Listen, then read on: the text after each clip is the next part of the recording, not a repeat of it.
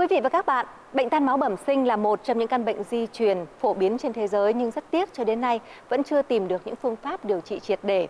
Và Việt Nam chúng ta là một trong những nước có tỷ lệ mắc bệnh hoặc là mang gen căn bệnh cao. Trước khi đến với cuộc trò chuyện của chương trình, xin mời quý vị và các bạn hãy cùng đến với phóng sự mà chương trình chúng tôi đã kịp ghi lại. Việt Nam hiện có 10 triệu người mang gen bệnh tan máu bẩm sinh, thalassemia và hơn 20.000 bệnh nhân đang cần được điều trị liên tục. Trung bình mỗi năm lại có thêm 2.000 trẻ sinh ra mắc bệnh.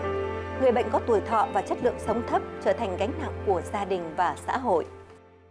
Tôi truyền máu được 12 ờ, năm, à, cứ 2 tuần là truyền một lần. Ừ, chị ờ, phát hiện bệnh là lúc 5 tuổi, làm việc nó mau mà đồng thời là cái sức đề kháng cũng không bằng người bình thường. Xét nghiệm hai vợ chồng thì phát hiện ra là mình ờ, bị thiếu máu ờ, beta thalassemia chọc ối biết bé là bị beta thalassemia khi bé được 2 tuổi thì bé chậm lớn, biến ăn truyền máu đến bây giờ. Giữa tháng là thải sắc một lần, một tuần dạ, thải sắc. Còn đến 4 tuần là mình lại đi đi ờ, truyền máu cho bé.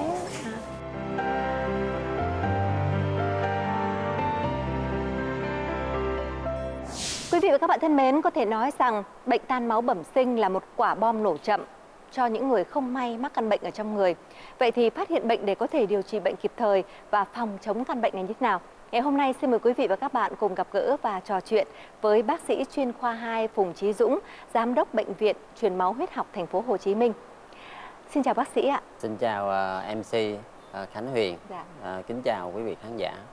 Thưa bác sĩ, nói đến cái tên của căn bệnh đó chính là tan máu bẩm sinh thì chúng ta phải hiểu về nó như thế nào ạ? Thứ nhất, bệnh này là bệnh di truyền. À, tại sao di truyền thì cái gen mà gây bệnh đó à, nó nằm trên một cái nhiễm sắc thể thường và nó liên quan tới cái nhiễm sắc thể số 16 là và nhiễm sắc thể số 11. À, và cái nhiễm sắc thể này là nhiễm sắc thể thường. Thứ nhất, và thứ hai nữa là không phải nhiễm sắc thể giới tính. Do đó là cái bệnh này có thể bị cả nam và nữ đều mắc có thể mắc bệnh. Cái gen này là là gen trội chứ không phải là gen lặng do đó chỉ cần một cái gen thôi là thì mình có thể biểu hiện bệnh rồi. Cái đặc tính của bệnh này nó là một cái bệnh bẩm sinh tức là mới sinh ra đời thì đã mang căn bệnh đó trong người mình rồi. Và cái đặc điểm thứ ba nữa thì thiếu máu và tan huyết tan máu giống như đúng là cái tên bệnh. Ờ, thưa bác sĩ vậy thì cái biểu hiện cụ thể của căn bệnh là như thế nào? Là bệnh nhân có thể biểu hiện ở ngoài da da chúng ta xanh xao đi rồi có thể vàng kết mạc mắt có thể đi tiểu sậm màu hơn. À, đó là những cái biểu hiện của tán huyết. Và ngoài ra thì do tán huyết thì cái hồng cầu mình khi tán huyết nó cũng có cái nơi nó nó chết cũng nó chết đó là cái lách của chúng ta. Thì khi mà tán huyết nhiều cái lách chúng ta càng ngày nó sẽ càng lớn lên. Biểu hiện bệnh nhân có thể có lách to bụng có thể bự ra nếu mà trường hợp nặng thì khi sắt chúng ta có thể là nó ứ ở da những trường hợp thậm chí nó nặng nó giảm sậm đen luôn nếu chúng ta không chịu thải cái thứ hai là sắt có thể ứ ở tim và gây cho bệnh nhân cái triệu chứng suy tim mà nếu như mà bệnh nhân đã suy tim rồi thì hầu như là rất là khó điều trị. Đây là một trong những cái nguyên nhân gây tử vệ tử vong chiếm khoảng 70% tất cả nguyên nhân tử vong ở cái bệnh nhân thalassemia. Ở người thì bệnh này chúng ta thấy cái trán họ dồ hơn, rồi cái cái hai hai gò má họ cao hơn. Cái mũi do đó chúng ta thấy nó bị tẹt đi. Nó gọi là có cái khuôn mặt giống như người mongoloid vậy đó. Nó rất là rồi còn tay chân thì ờ, do dinh dưỡng kém có thể là là teo cơ bụng thì lớn vân vân. Đó là những cái biểu hiện của cái cái cái bệnh lý. Làm sao để biết là chúng ta đang mang căn bệnh và quan trọng nhất là chúng ta đang mang cái gen bệnh ạ? Là để phát hiện thì chúng ta phải coi tiền sử gia đình tại cái bệnh này là di truyền. Chính vì vậy đối với cái bệnh lý này khi phát hiện một cái người mắc bệnh hoặc mang gen bệnh thì tất cả các bác sĩ uh, mà nắm rõ đó thì cũng phải yêu cầu cả cái gia đình đó phải đều được đi xét nghiệm để phát hiện coi mình có mang gen bệnh hoặc mình đã bị bệnh rồi. Là cái đó là cái rất là rất rất là quan trọng là cái tiền sử. Còn cái thứ hai nữa đó là chỉ có nước phải phát hiện qua các cái cuộc khám nghiệm xét nghiệm tổng quát mà thôi xét nghiệm công thức máu huyết đồ. Dạ. à, thưa bác sĩ vậy thì khi mà người bệnh biết là mình có căn bệnh trong người hoặc là đang mang gen của căn bệnh này thì cần phải làm gì ạ? Thì chúng ta trước hết chúng ta phải được khám và theo dõi ở một cái à, khoa huyết học hoặc là ở một cái bệnh viện chuyên khoa à, các cái bác sĩ biết theo dõi và điều trị về cái cái bệnh lý này. À, có một cái hồ sơ bệnh án rất là à, phải kỹ lưỡng và coi như cái bệnh chúng ta hầu như chúng ta phải theo dõi điều trị suốt đời suốt đời. À, đó là cái thứ nhất cái thứ hai nữa là uh, trước khi điều trị chắc chắn là cũng phải được sự tư vấn của bác sĩ uh, để cho chúng ta hiểu rõ cái căn bệnh của chúng ta là một cái căn bệnh gọi là nó gần như mãn tính vậy chúng ta phải theo dõi và điều trị. Uh, nếu như chúng ta phải điều trị tốt đối với cái thể nhẹ và thể trung bình thì thì hầu như căn bệnh này nó không gây ra một cái vấn đề gì đối với cái người bệnh cả. Tức là chúng ta truyền máu đều đặn thải sắc cho đều đặn thì chúng ta cũng có một cuộc sống gần như là bình thường à, như người khác thôi. Chỉ có là chúng ta không có theo dõi điều đặn thì nó sẽ gây ra cái tình trạng tức là chúng máu chúng ta truyền không đủ. Thì chúng ta có thể là gây ra tình trạng mệt mỏi quể quải và đặc biệt là nó sẽ làm cho những em bé đó chúng ta truyền không có đủ cái lượng máu. Tại vì yêu cầu truyền máu chúng ta phải đủ nâng cái nồng độ huyết sắc tố phải trên 10 gram trên decilit à, mà chúng ta cứ truyền mà không đạt tới cái mức đó thành ra em bé nó sẽ bị chậm phát triển kém ăn rồi đồ thứ rồi thậm thậm chí nó ảnh hưởng cả phát triển về trí tuệ luôn. Đó rồi cái thứ hai nữa chúng ta phải thải sắc cho nó tốt. Thì uh, nếu chúng ta tuân thủ hai cái nguyên tắc đó thì một cái người bệnh cũng có thể phát triển bình thường đối với thể nhẹ và thể trung bình. Ừ.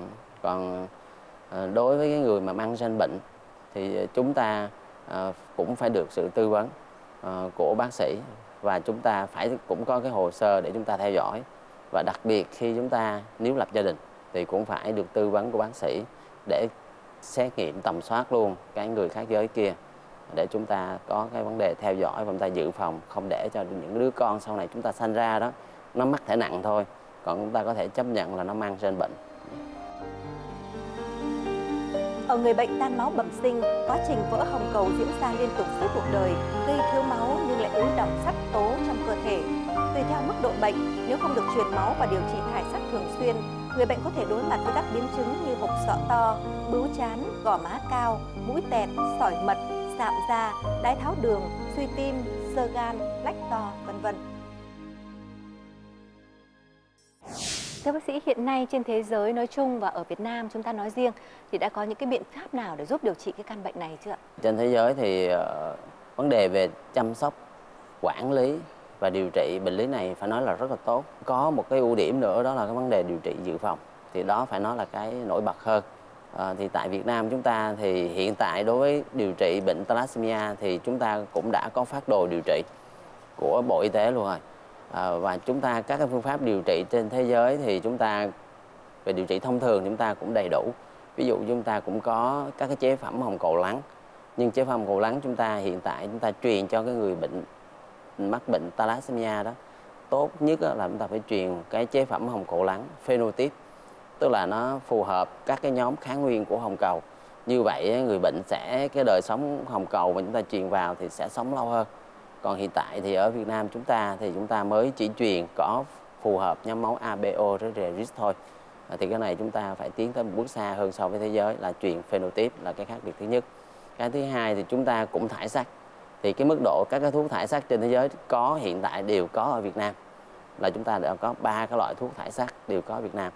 Đó là desferoxamine rồi thứ hai là deferriprone và cái thuốc gần đây nhất mới nhất trên thế giới thì chúng ta cũng đã có là desferazirop thì Devra thì cũng đã được bảo hiểm y tế chi trả. Cái này là cũng là cái cái điều rất là tốt cho người bệnh. Còn cái phương pháp thứ ba về ghép tế bào gốc tức là gọi là hay gọi là ghép tủy xương đó à, trên bệnh thalassemia thì ở tại Việt Nam cũng đã thực hiện được. Thì ở tại viện truyền máu học trung ương cũng như bệnh viện truyền máu huyết học cũng đã và viện nhi trung ương là ba cái nơi đã tiến hành để điều trị. Và chỉ có những đối tượng thể nặng mới có chỉ định ghép còn thể nhẹ trung bình thì không có chỉ định kép Thưa bác sĩ, vậy thì à, bản thân người bệnh cũng như là gia đình của họ cần phải chuẩn bị tâm lý như thế nào để có thể theo đuổi quá trình điều trị bệnh lâu dài ạ? Cái vấn đề quan trọng nhất là chính bản thân của cái người mắc bệnh đó là phải hiểu thật là chính uh, hiểu được thật là cặn kẽ cái bệnh của mình và phải được bác sĩ phải tư vấn và phải được theo dõi ở một cái trung tâm. Họ là một cái khoa về chuyên về điều trị cái bệnh thalassemia. À, khi mà họ đã được tư vấn kỹ càng họ chuẩn bị một cái tâm lý và cái quan trọng đó tôi nghĩ là mình thực sự không phải là cái bệnh này là cái bệnh gì nó gọi là bệnh ác tính hay ung thư nó chỉ là mãn tính thôi. Nếu chúng ta biết cách điều trị đối với thể trung bình và thể nhẹ thì cũng có một cuộc sống gần như người bình thường không có vấn đề gì cả. Để đừng có để cái biến chứng như nãy tôi có nói đó nếu như để đẩy ra suy tim suy gan sơ gan vân vân tiểu đường thì nó rất là khó điều trị. Như vậy là chúng ta phải tuân thủ là theo cái lịch tái khám lịch hẹn và chúng ta phải tuân thủ cái điều trị. Và cái khó khăn của người bệnh nữa đó là cái vấn đề chúng ta phải chuẩn bị cái cái tinh tế nữa. Thì, thì, thì bây giờ chúng ta đã là bảo hiểm toàn dân gần như là bắt buộc rồi thì nếu chúng ta uh, phải có bảo hiểm y tế thì bộ bảo hiểm y tế đã hỗ trợ phần lớn kinh phí rồi Tâm lý và kinh tế gia đình là hai yếu tố liên quan chặt chẽ đến chất lượng cuộc sống của bệnh nhân tan máu bẩm sinh vì họ phải tuân thủ một quá trình điều trị liên tục và kéo dài. Bên cạnh đó, các vấn đề về chính sách xã hội, chất lượng mạng lưới dịch vụ y tế cũng tác động không nhỏ đến việc tuân thủ điều trị của người bệnh. Trên thực tế, không ít trường hợp người bệnh từ bỏ hy vọng điều trị vì nhiều lý do liên quan trực tiếp đến yếu tố tâm lý, gánh nặng về chi phí điều trị như sống độc thân, sống phụ thuộc, nuôi con đơn thân, gia đình từ chối hay mắc nhiều bệnh tật cùng một lúc. Bác sĩ đã chia sẻ về à, sự chăm sóc y tế đối với người bệnh, còn cái việc chăm sóc về dinh dưỡng thì như thế nào thưa bác sĩ? Thứ nhất cũng ăn uống đầy đủ dưỡng chất như một người bình thường. Chúng ta phải đảm bảo đặc biệt là lưu ý tới cái nhóm mà có axit folic B12. Cái thứ hai là chúng ta nên hạn chế những cái thức ăn giàu sắt và đặc biệt là những cái thuốc á, những cái thuốc mà viên thuốc có sắt ở trong đó thì chúng ta hạn chế như vậy thôi. Còn một điều nữa mà Huyền nghĩ là khá quan trọng là làm thế nào để giúp cho căn bệnh không bị lây lan trong cộng đồng. Điều trị dự phòng là cái cái hiệu quả nhất mà chúng ta phải tức là à, đầu tiên hết là chúng ta phải có tư vấn cho tiền hôn nhân, khuyến khích đôi vợ chồng đó tự nguyện đi thử máu. Thì cái cái bệnh này chúng ta có thể phát hiện bằng một cái xét nghiệm huyết đồ bình thường thôi, rất đơn giản. Thì nếu như chúng ta phát hiện ra chỉ số hồng cầu chúng ta đó MCV nó nhỏ MSH nó giảm thì là cũng đã nghĩ tới cái bệnh này hiện tại ở Việt Nam thậm chí tại bệnh viện tôi cũng đã làm được hết thì nếu như sau khi chúng ta làm tầm soát như vậy đó nếu hai hai đôi vợ chồng không có mỹ ngang bệnh hết thì cứ nhau bình thường còn nếu như tình huống thứ hai là một bên mang gen bệnh một bên không mang gen bệnh thì khả năng sanh ra con khả năng nặng ít lắm. Chỉ có khả năng trung bình và nhẹ thấp trở xuống và mang bệnh thôi thì họ cưới nhau cũng gần như bình thường. Nhưng chúng ta tránh cái trường hợp là hai người đều mang gen bệnh thì xác suất đứa con sinh ra mắc cái bệnh nặng rất là cao. À, như vậy thì chúng ta vẫn tư vấn. Nếu như họ mới quen nhau thì có thể ờ, uh, tự quyết định chuyện của họ mình nói còn nếu như yêu nhau quá thì mình cũng không thể nào ngăn cản thì vẫn cho cưới được. Nhưng cưới xong thì mình, lúc mà có em bé đó thì chúng ta phải chẩn đoán trước sinh. Thì bây giờ kỹ thuật ở Việt Nam ta đã làm được. Nếu chúng ta phát hiện bé mà mang gen bệnh mà thể nhẹ, hoặc là trung bình chúng ta vẫn cho sanh. Nhưng đối với thể nặng thì bác sĩ sẽ tư vấn. Còn cái biện pháp tiếp theo nữa là chúng ta ngoài ra đừng có để tới lập gia đình thì chúng ta cũng phải có cái những, giống những cái buổi này chúng ta có truyền thông chúng ta đưa vô cái cái cái cái giảng dạy trong học đường, cái thường thức bình thường để cho mọi cái người hiểu được cái căn bệnh này và biết được cái cách để chẩn đoán sớm cũng giống như là phòng tránh. Và cái cuối cùng đó là ngành y tế phải có một cái cơ quan đăng bạ về cái bệnh lý này. Tại vì lúc họ ở đây rồi mốt họ di chuyển chỗ khác họ cưới, thì ở nước ngoài nó có một cơ quan đăng bạ nó giống như cái thẻ căn cước vậy đó họ biết ở ờ, cái người này bị bệnh sau mình làm cái gì đó mình cứ trình cái thẻ mình ra ví dụ mình chuẩn bị kết hôn ai mình trình ở ờ, tôi biết như vậy để cho họ quản lý tốt cái vấn đề này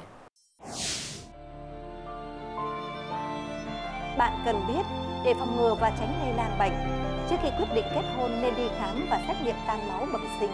Hai người mang gen bệnh kết hôn với nhau nên được tư vấn trước khi có thai. Nếu có thai nên được tư vấn trước khi sinh từ 12 đến 18 tuần. Các bệnh viện chuyên khoa tại thành phố Hồ Chí Minh, bệnh viện truyền máu và huyết học, bệnh viện Từ Dũ. Tại Hà Nội, Viện Huyết học Truyền máu Trung ương, Bệnh viện Nhi Trung ương. Huyền tin rằng quý vị và các bạn đã hiểu hơn về căn bệnh tan máu bẩm sinh và thêm vào đó thì những người mang căn bệnh trong người cũng biết cách làm thế nào, đặc biệt là phải tuân thủ như thế nào để chúng ta có thể sống hòa bình với căn bệnh này và hơn nữa hãy lắng nghe lời khuyên của bác sĩ để tránh sự lây lan trong cộng đồng. Một lần nữa xin chân thành cảm ơn bác sĩ rất nhiều ạ. Cảm ơn MC Khánh Huyền và kính cảm ơn quý vị khán giả.